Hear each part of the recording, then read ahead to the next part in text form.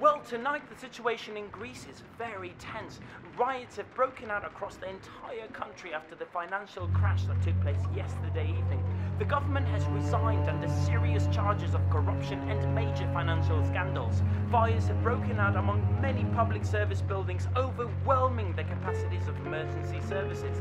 Anarchy and violence in the streets have many convinced that the Greeks.